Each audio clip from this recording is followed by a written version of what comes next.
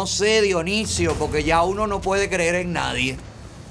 Mira el trabajito mental que están haciendo en la radio cubana sobre lo que sucedió en, San Isidro, lo que está pasando con Ferrer y demás, y demás, y demás, y demás. Mira, mira, mira, mira. Mire cómo desprestigian todo. Mírelo aquí. Y voy a detenerme en algo al link porque una de las personas que estaba detrás de esta provocación o de lo que ocurrió ayer en San Isidro es el deleznable Michael eh, Castillo, conocido por el Orsobo, Michael Orsobo, que hace un par de horas en una directa de Facebook acaba de reconocer que lo que pasó ayer en San Isidro no había nada al azar, que todo estaba premeditado, que todo estaba debidamente calculado. Entonces, eh, Para ahí. Ustedes prepararon la caravana mierdera esa que se vio. Estaba todo premeditado y fríamente calculado y le salió mal. ¿Qué tiene que ver que los muchachos de San Isidro se pongan de acuerdo y preparen una acción? Y que lo calculen y que lo piensen. Si ustedes le caen a palo, los detienen, los encarcelan, los secuestran, se meten en su casa, le ponen una cámara. Ustedes que tienen cámara de seguridad por ahí, ustedes no vieron que estaban premeditando algo. ¿Para qué tienen la cámara ahí? Ustedes son unos estúpidos. Déjenme, déjame seguir oyendo esto. Dice el refrán a, a confesión de parte, Relevo de pruebas. Y lo que pasó ahí fue que se intentó hacer un- un- una manifestación en contra del gobierno. Cuando usted mira las imágenes, Se intentó, no, se hizo. Ustedes son los que están intentando, fíjate la diferencia. Ustedes están intentando decir que no sucedió, pero sí, yes, sucedió. Sí se hizo. Premeditada, planificada y exitosa. Se hizo. Lo hicieron bien. Ustedes han jodido muchísimas otras estrategias, muchísimas otras acciones que ellos han planificado. Pero esta vez ellos le dieron por el culo a ustedes. Ay, perdón. Digo, ellos lo jodieron. ¿Verdad? Deja ver. de manera general y de manera inmediata, y no te detienes al análisis de lo que pasó ahí, te da la sensación de que realmente hubo un estado de indignación o hubo una manifestación en contra del gobierno. Pero cuando tú ves realmente lo que pasó, cuando tú analizas los diferentes videos que están ¿Qué fue lo circulando que por las pasó? redes, que la gente fue grabando, te das cuenta que todo es parte de la manipulación y de la construcción que desean hacer. Estos sujetos que, protagonizaron esto, que además profirieron ofensas muy graves contra el presidente de la República, contra el, contra el sistema revolucionario, pero en específico contra la figura del presidente de la República, incurriendo además en un delito de desacato. Para ahí, no, no, espérate, decirle cingado a Canela es un delito. Ay, caballero, perdónenme, pero ya decir una mala palabra en Cuba es un delito. Bueno, pues llenen las cárceles arriba. Deje de construir hoteles y empiecen a hacer kilo 8, kilo 9, kilo 25, kilo 28, kilo 33. Empiecen, empiecen a meterle reja a todo ya. Porque, ay, pero qué, qué- pero qué gentuza más ridícula. Pero ven acá, y cuando ustedes dicen de mí todo lo que dicen, no están incurriendo en un delito de nada. Porque cuando la mala palabra, la ofensa, la difamación, la calumnia viene de ustedes, no incurre en delito alguno, ¿verdad? ¿Quiénes son los que están? Este, este es el señor este que está. No, este es el doctor Durán. Ese es el come mierda que está hablando, que está haciendo el análisis del video. Vamos a ver, vamos a ver qué más. El delito de desacato lo estipula muy bien. El que ofenda, denigre, cualquier autoridad pública en el ejercicio de sus funciones incurre en un delito de desacato y además el delito de desacato del. Código Penal cubano, que es de la década del 80, no es un código penal de ahora, establece que si esta actividad se realiza contra el presidente de la República o el vicepresidente o una figura de alto rango, por supuesto tiene o constituye un agravante en este sentido. Y entonces, nada, hubo un intento de, de manipular y se congregaron un grupo de personas a observar las payaserías que hacían estos dos Para. grupos, es grupito, grupito de personas que se congregó a ver las payasadas. Ya le dijeron payaso a Otero Alcántara y a Michael Osobo y al Funky, todo lo es payasería. Lo que hacía gente de zona en la tribuna antiimperialista hasta el año pasado eso no eran payaserías, eso eran grandes conciertos y presentaciones de artistas, ¿verdad? Pero ahora como gente de zona canta la canción en contra de ustedes, ahora son unos payasos y son unos mercenarios. ¿Viste cómo cambia todo con la misma persona? Con el mismo artista y en el mismo periodo de tiempo. ¿Tú viste? Tú que a lo mejor sigues repitiendo y repitiendo lo que dicen y dicen y dicen. Aquí los payasos son estos dos. La esta y el señor que le tiene voz de joven, que no sé cómo se llama. Deja ver, ¿qué más? Michael Elosobo, que Michael Elosobo, vuelvo a recordar, es el sujeto que pidió al gobierno de los Estados Unidos que realice una intervención militar en Cuba. Una invasión. Una invasión. Fueron sus palabras. Una invasión. Le pidió, le clamó, le suplicó, le robó al gobierno norteamericano que invadiera Cuba con todo el costo Ay, de sangre para que eso tiene para este país. Se tiró de rodillas, ¿no? Frente a. ¿Cuántos días estuvo de rodillas frente a la Casa Blanca Michael Osorbo? Pigando y pidiendo inva- Ay, pero qué gentuza. Ay, pero qué. Pero ya ustedes no tienen ni siquiera argumento para defender ese bodrio comunista. El que pidió, el que pidió, ¿tú sabes cuántas cosas ha pedido Fidel Castro contra Norteamérica, contra Estados Unidos? Que desaparezcan de la faz de la tierra, que su ideología, que... Pero ay, Osorbo suplicó. Ese mismo que ustedes le dicen marginal, ese mismo que ustedes le dicen payaso, ese mismo que ustedes le dicen todo lo que ustedes le dicen, ¿usted cree que si a ustedes que son marginales, tristes, acomplejados, churrosos, chupamedia, a ustedes no les importa lo que dice Michael Osorbo, le va a importar al gobierno norteamericano? De verdad. Porque Michael Osorbo en un momento de calentura haya dicho en una directa que vengan los americanos, ustedes se pasaron la vida diciéndole a cuanto niño y a cuanto joven los americanos van a venir y nos van a matar. Es perfectamente a nivel psicológico aceptable que esos adoctrinados y crecidos bajo su manto consideren el fin del comunismo maldito que los está matando de hambre, lo relacionen directamente a una invasión norteamericana. ¿Ustedes se lo enseñaron? Ustedes mismos en sus escuelitas de palo le enseñaron a todos los cubanos, van a venir los americanos, nos van a bombardear. ¿Usted no se acuerda cuando nos ponían a hacer aquellos refugios que terminaron siendo baños públicos? y criadero de mosquitos y posada de los amantes sin camastro para tener intimidad. ¿Eh?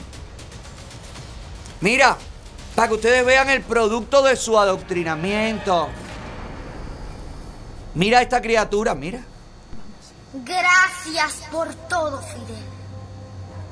¿Por qué? Gracias por tu amor. Por este pueblo cubano. Por ser un gran ser humano. Por tu tesón y valor. Gracias de corazón. Porque a ti Cuba te adora. Serás el sol en la aurora que ilumina la nación.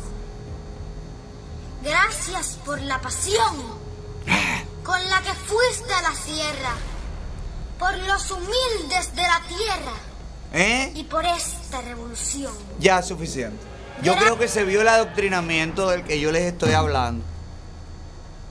Vamos a seguir oyendo a los pedagogos de la radio que analizan videos sin internet, porque además que cómico. ¿Quién les da el internet a ustedes para que ustedes puedan analizar cuadro por cuadro quién canta y quién no en las manifestaciones? Porque vienen con eso ahora, escucha.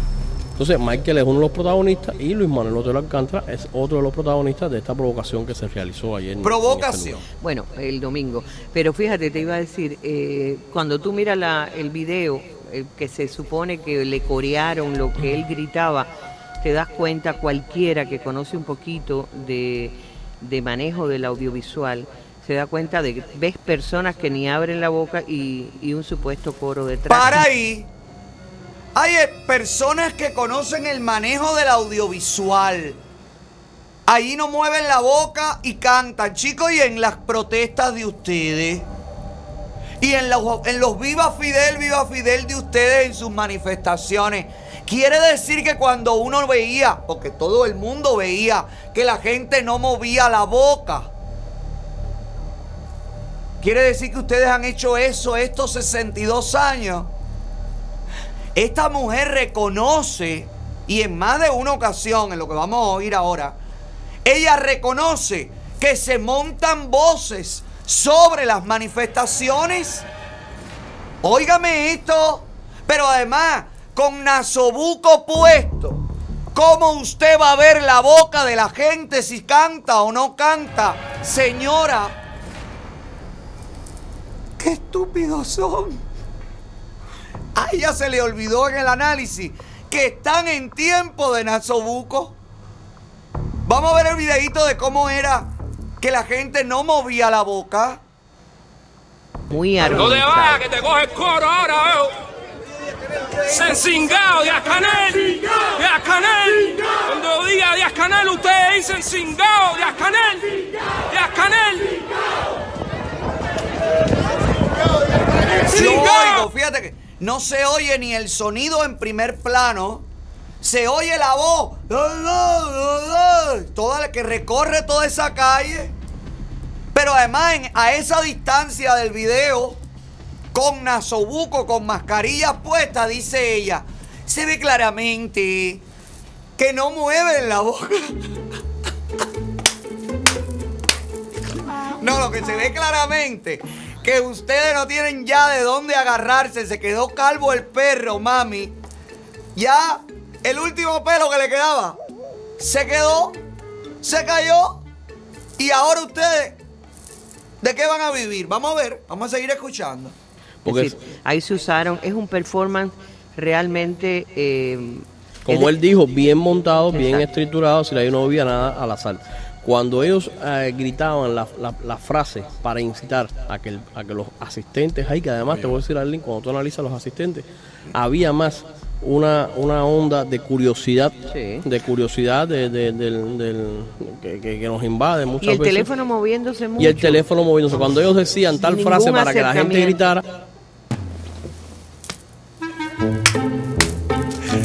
Producciones Helicay. Para, oye, para que Aileen esté contenta. Escúchenme bien, opositores. Berta Soler, estás ahí, escúchame. En la próxima manifestación, cuando les vengan a caer a golpe, tú agarras el teléfono y haces acercamiento. acercamiento al esbirro. Y no pueden mover mucho el teléfono porque si no, óigame, los críticos del video opositor no están contentos, no le creen. Esta gente, esta caballero, que es lo que yo les digo todos los días aquí, que aunque usted crea que yo estoy loco, yo no estoy loco. Que aunque usted le digan Otaola que no hizo nada, caballero, no es eso. Lo único que los tiene aterrados es que usted salga a la calle. Es que el cubano se lance para la calle. Mira cómo están tratando de decirle a la gente, no, eso que tú viste, ni lo cantaban ellos, ni salieron ellos. Los que estaban allí eran porque estaban pasando, como, como las caravanas aquí. Como las caravanas nuestras que siempre salen las ciberclarias y dicen, no, pero ese era el tráfico. Ese era el tráfico a las 8 y cuando estaba trabado el tráfico para allá y para acá. Oye, cerraron una calle por allá. Había un accidente. Eso no eran ellos. Es lo mismo. Esta mujer te está tratando de decir a ti que lo viste, a ti que lo cantaste. No, tú no lo cantaste, ni tú estabas ahí. Y todo el que estaba ahí no estaba para eso. O sea, Díaz Canel Cingao, que retumbaba en San Isidro. Ella no lo oyó, ella no lo cree, porque no vio las bocas moviéndose. Y el teléfono se movía mucho, ¿me entiendes? No llevaron un trípode. Tenían que haber, tenían que haber llevado un trípode, caballero. No puede ser así. Tiene que haber calidad. Calidad en la imagen. Vaya, por favor, qué vergüenza siento en este momento cómo han desbaratado dos periodistas con un tremendo ojo de. de. de esos hindú, tercer ojo. ¿Cómo han desbaratado la manifestación? Deja ver qué más dicen ellos que no pasó. Primero, nunca acercaron el teléfono a la muchedumbre que había ahí. Y también cuando supuestamente la gente estaba gritando la frase contra la revolucionaria, lo que hacían era agitar el teléfono de un lado hacia otro, que no se puede definir si realmente está gritando. Y de fondo lo que se siente es un grito Buco, o un grito de un grupo de personas que perfectamente se pudo haber realizado Súbetelo dentro de bájatelo, algún súbetelo. local o dentro de cualquier lugar. Cualquiera que sabe un poquito de comunicación y de manejo de esto mismo, de los de los medios audiovisuales, y en el Oye. particular audio, eh, la manipulación puede ser tremenda. Pero ya empieza también a reaccionar la gente que está hastiada de estas provocaciones. Porque el país está viviendo momentos realmente dramáticos entre el, el bloqueo que las 240 medidas de Trump, por cierto, no han sido derogadas por el gobierno de Biden aún Ni que hay declaraciones del, del gobierno de Biden, de, de su Departamento de Estado, que son muy ofensivas para el pueblo de Cuba y para el gobierno de Cuba. Entonces, cuando tú vives bajo esa presión, bajo la presión de una pandemia que está en su pico más alto, récord, que ha hecho que se limiten y se corten todas las actividades, ¿quiénes son estos personajes? Y voy a decirlo como lo ha preguntado el periodista Pedro Jorge Velázquez en su muro en Facebook que dice por qué ellos pueden violar las leyes. En Telegram está esto. Y No, los no, demás no. cubanos. No, ya no, esa pregunta no importa. La pregunta es, ¿por qué pueden hablar ustedes de todo el mundo sin darle derecho a réplica? ¿Por qué? ¿Por qué ustedes no le dan derecho a réplica, Michael Osorbo? A la propia Rosa María Payala que han difamado a todos y cada uno de los opositores. Dame derecho a réplica a mí. Dame cinco minutos, cinco, cinco en la televisión nacional para responderle si yo soy un mercenario pagado por la CIA, sí o no. Dame cinco minutos. En cinco minutos te saco. ¿Cuántas provincias son? 16. Las 16 provincias a la calle. Dame cinco minutos de réplica. En vivo. No editadito después. No. En vivo, en viveta. Dale, que voy a hacer un acercamiento. Voy a hablar sin naso buco y voy a mover la boca bien para que ustedes estén contentos. Dale, háganlo. Háganlo. A ver si es verdad que ustedes no tienen miedo. Porque ustedes, porque ustedes son los dueños absolutos de los medios de comunicación. ¿Por qué? ¿Quién determinó eso? Y en pleno siglo XXI, ¿por qué sigue esa determinación? ¿Por qué? ¿Quién es esta señora? Además de una comunista descarada, vividora, cantimplora de medio consejo de Estado. Además de eso, ¿quién es ella? Para hablar de los cubanos que piensan diferente a ella para decir que la administración de Estados Unidos ha ofendido al pueblo de Cuba y al gobierno, ¿no? La administración de Estados Unidos que está negociando con ustedes por debajo del tapete. Y hoy que se los digo, ¿qué día es hoy? El día que sea. 8 de abril. 8 de abril, anota ahí. Anótalo ahí. Nos vamos a enterar. Todas esas declaraciones públicas de Biden de no vamos a hacer, no se va a suavizar, no vamos a hacerlo, no está en nuestros planes, es porque por debajo del tapete ya están hablando. Y toda esta gente hablando esto es porque están haciendo la cortina de humo. La respuesta ante lo que está pasando con Ferrer lo confirma, señores. Lo confirma o aumenta la duda mucho más. ¡Qué barbaridad! ¡Qué barbaridad! ¿Viste por qué no se puede tener diálogo? ¿Viste por qué la palabra diálogo no puede estar con nada relacionado con el tema libertad? No puede estar porque ¿con quién van a dialogar? ¿Sobre qué van a dialogar? No, porque es con todos los cubanos. Bueno, esta gente, estos dos come mierda, son dos cubanos también. Y si tú lo dejas abierto con toda la sociedad, con todos los cubanos, tienes que dialogar con estos dos mequetrefes. No se puede dialogar con los que no te han dejado defenderte en 62 años. Escúchame, hermano mío. No le creas el cuento a nadie. Analiza y piensa por ti. ¿Diálogo con quién? En este momento en el que están en el piso boqueando, aterrados con que tú salgas a la calle, con que tú tomes los espacios públicos, con que tú le digas basta, basta, ya no quiero más esto. Eso es lo que los tiene aterrados. Eso es lo que los tiene militarizando las calles, las provincias, cerrando con el pretexto del COVID. Date cuenta, hijo mío, la única solución a tu problema es salir a reclamar. Es salir a reclamar. Lo que te separa de la prosperidad y la libertad son los pasos que hay hasta la puerta de tu calle. Tienes que darte cuenta, lo que los tiene asustados y preocupados es el que el pueblo salga a la calle. Un pueblo que ellos tildan de revolucionario, de que está cansado. Sí, sí, el pueblo está cansado, pero de ellos. El pueblo está esquiado, pero de ellos, de los comunistas.